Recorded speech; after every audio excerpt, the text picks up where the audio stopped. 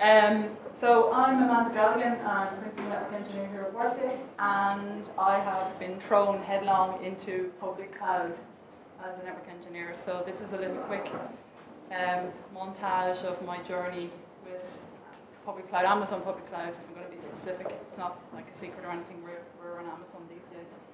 So um, just a quick introduction about myself. Um, I'm actually a beer brewer. So um, I'm the person who kind of hunted John down to commission the iNOG beers for tonight's talk. Um, so uh, I'm kind of like, if he's Obi-Wan Kenobi of the beer, I'm like, whatever, I'm like down on the ground like a slug or something. So I'm, I'm, his, I'm his kind of, uh, you know, child in or person in training. So um, yeah, so on to the presentation. So basically, I wanted to kind of give a high, high, high, highlight of what devs think the cloud deployment will be like. Um, this is my kind of, um, this is from my experience of working on, on Workday's public cloud. So generally devs think that public cloud is going to just go like this. You know, it's like, fly away little birdie, it's all good. Yeah, it's like a few, you know, simple, quick, easy, what's the problem, you know. But unfortunately, the sad reality of public cloud is it's more like this.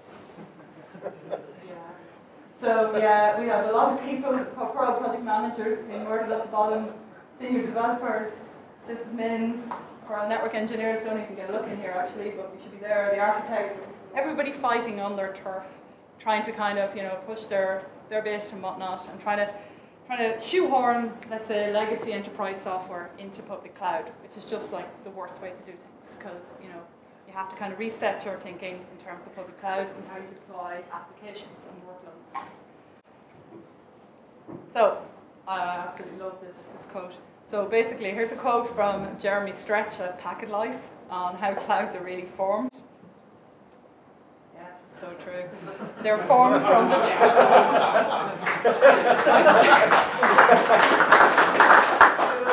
From experience. I actually oh, like this tweet as well. I'm one of the likes there.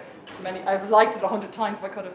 Um, yeah, this is so true. They are formed from the evaporated tears of thousands of network and sysadmins, the per sysadmins, and this is the people who build the physical clouds, you know, the Amazons, the Azures, the Googles, and then the people on premise who have to bring their, their company to the public cloud and bring it in a way that it's both safe, secure, scalable, and as I like to call it, I've coined the phrase cloudy, so that you, you leverage as much of what the public cloud offers, and you try and not you know, fall back on old habits in terms of things you currently might deploy in your data centers.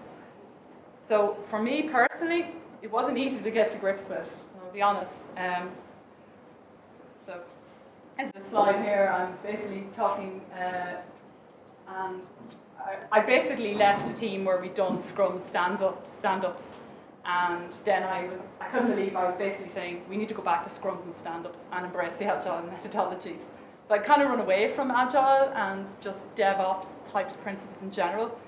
Then I realized that actually is what need, you need that kind of mindset, and it kind of speaks to John's talk that just preceded this one.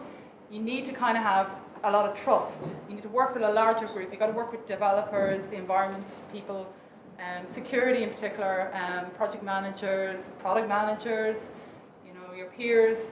Um, there's, a, there's a larger group at play here, and uh, trust is probably a massive thing in terms of trust and just communication, I guess is probably the key word here. So um, yeah, I basically stand ups, stand ups, stand ups, stand ups, stand ups, and they went on and on and on and on. So then, yeah, security. So it's, it's, it's fairly public knowledge. I've had a lot of battles in here in terms of trying to enforce security and at, so when dealing with the developers, I'm trying to embrace, trying to get them to understand you can't just do crazy things. I also have a battle on the other side with the security teams here in Workday uh, who kind of want to, let's say, they, they, they, they want to apply so much security perhaps that it might stifle the, the, the, the, DevOps aspect of the project. So you're kind of in the middle of those groups and you're trying to fight those, both those battles. So in terms of dev security though, this is a chat I was having with someone, so the other person I've blacked out of this conversation, but basically, yeah, this is a security group rule where they allow SSH 0000 in from the internet. And I was like, no, you can't do that. That's bad. So I had to go. I had to basically go around and go try and correct. Talk to people and say we cannot do this. It's not a good practice. Generally, if at all else, just lock it down to Workday IP space or you know the corporate IP space. Just lock it down. Please do not allow the internet into our EC2 instances. That's just bad. We're just asking for trouble there.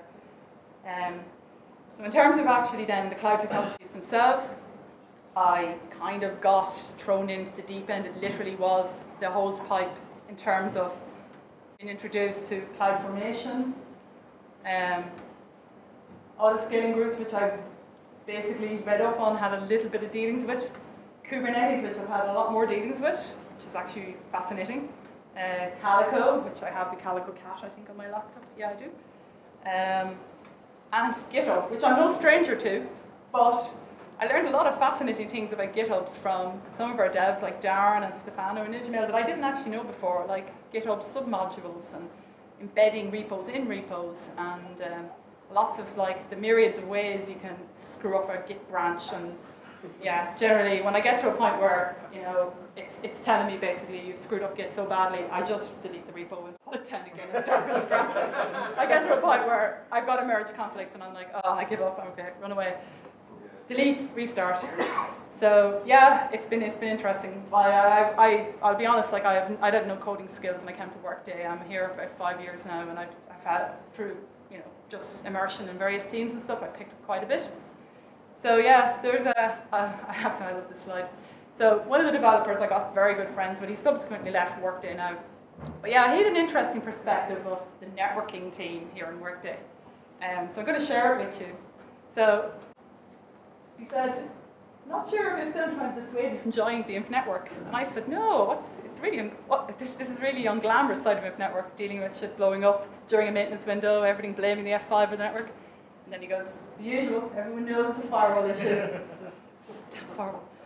Um, and then he basically said, I'm still trying to see the glamorous side of INF networking. Um, so I tried to, you know, lure him with the lures of BGP and VXLAN, MPLS. He was having none of it. He just said, no, beyond me. Um, he says, I want to just reach X from Y. It's over complexity. And he wasn't joking. Like, I literally taught this guy some basics about networking, just the fundamentals. I, I said, please go back to your peers and spread the good word. Teach them, like, you can't allow 0000 in from the internet. So, um, this is my slide here. It's um, my, our, we have an internal GitHub repo in Workday. So, you can see in 2006 I wasn't very active.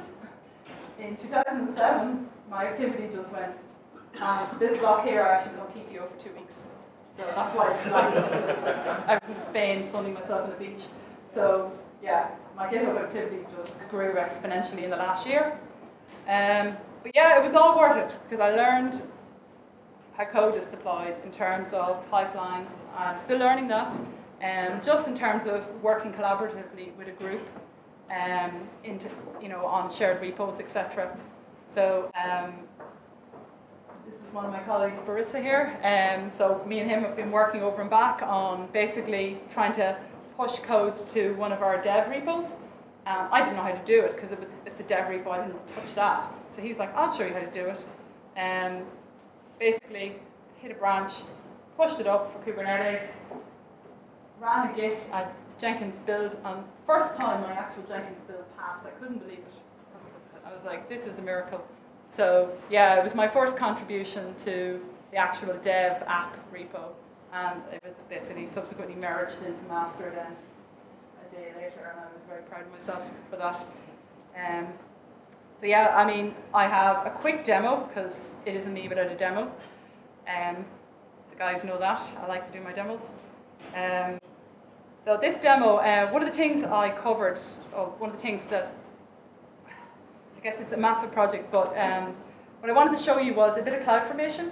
So cloud formation, the whole idea is what, what we've tried to instill in ourselves is that we you don't try and manually not touch anything. Build everything as infrastructure as code. So um, can you make the text bigger? Of course I can. Yeah, hold on two six. This guy here. Is that better? So it'll go up the screen very fast now in two seconds. So I have a.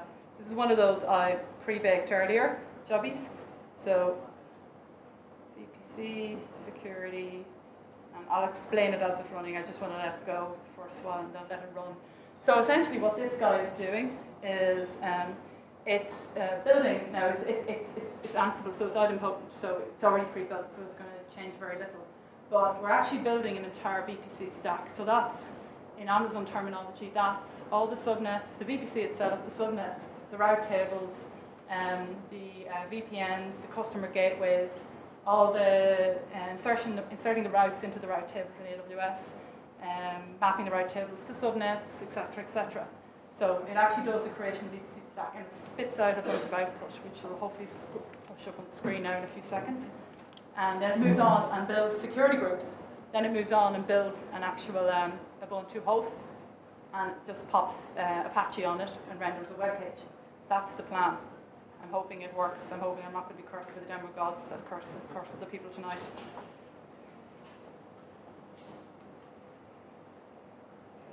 So. It's one of those either it's going to work or it's not going to work.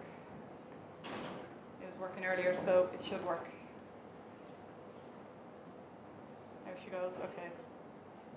Oh, it's just.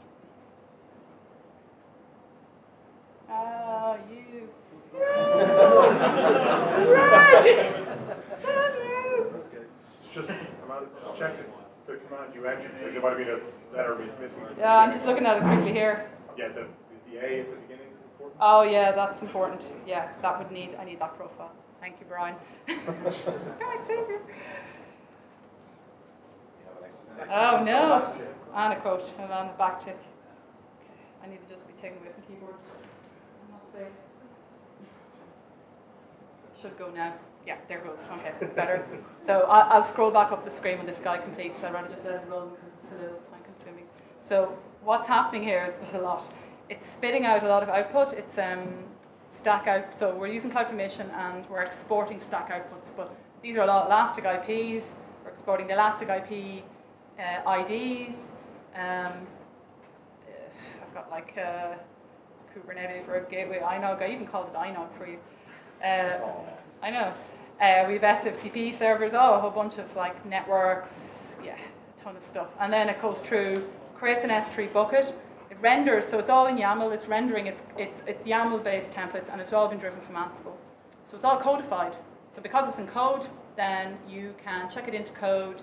You can check ver- changes. You have logs, blame. You can see who's changed what. Um, it's now building the security stack, and there it goes. It's built all the security groups. Uh, there's quite a lot of them there. Um, and then we go on, and it's built the host, and it's gone and installed Apache, and it's installed an index page. So what I wanted to show you quickly was what'll happen is we go to this guy. You know I love beer, suck it. uh, this page is not going to render for me right now, and the reason it's not going to render is, uh, is because I'm going to pop this guy here. Just save this little bit of YAML, um, and we should have a diff here. Yep. So we're going to just let this guy run, and just to save on time, I'm just going to update the security stack, so we're not running through the whole lot again. So it's just going to hit the security stack this time. So it's going through all these guys. It's re, it's up doing, it's just rendering that template again because that's the only one that's changed. Again, these guys are all idempotent, so they're staying green, which is good. That's what we want. And it's now in the middle of changing CloudFormation. So I don't know, obviously, outside of the Amazon folk here, if people have played around with CloudFormation. Um, you can see now it's actually, if I show you on my screen, it's actually updating um, the security stack right now for us. It's doing an update. It's like, okay, let's push this change, and the change is actually almost complete. So, just a sec.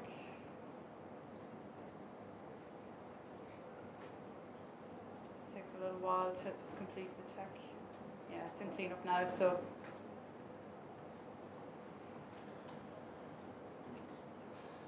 So in theory, it's probably already done the change, so I should be able to go here. Oh, and I've put an error in, it. i know, INOC. So I'm going to actually update it again when this guy finishes, which is uh, almost done, to uh, make it iNOG D. I hate waiting for things. It's my only complaint. There we go, it's almost done. Almost done. come on, it knows I'm on the time. There we go, it's complete. So it should have, it'll spit out to the screen. Okay, so INOG D. Let's fix that. We should be INOG D. So I actually have it here. It's a little index page. I'm just going to go and change this to D. This is a index page that's going to get loaded up into Apache. So now I now have two, two changes to my repo. And I'm going to just kick it off now with host. So it's going to go into my host, my Ubuntu host in Amazon. That was deployed with CloudFormation as well. And it's going to, obviously it's, it's going to try and install Apache again, but obviously Apache's already installed, so that's, that should go green, it's idempotent. But it will actually, the, uh, the index page task in, a, in the playbook should actually go orange, because it's going to actually change the index page, because I've gone and changed the text obviously from C to D. And we should now when I refresh the page, there we go, one change. Let's go back to page. D. That's me, I'm done. Oh, and the last, sorry, my last slide is, it's in honour of uh, John. So uh, just want to say that big shout out to John. I know he's actually left the room, so I think he ran away because I think he, knew, he knew the slide was coming.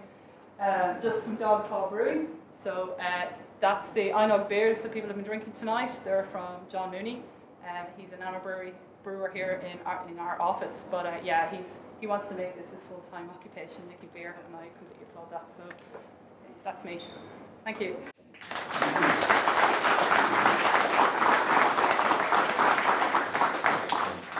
So we've got time just for one or two quick questions. Has anyone got questions? Yeah.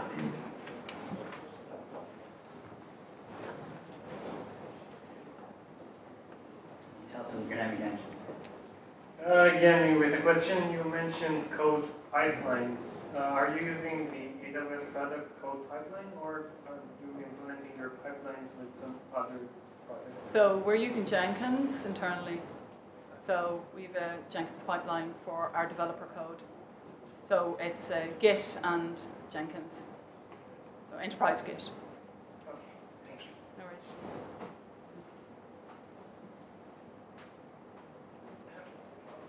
Anybody else? Okay. Yeah. Is that two or one? Okay. We can have it.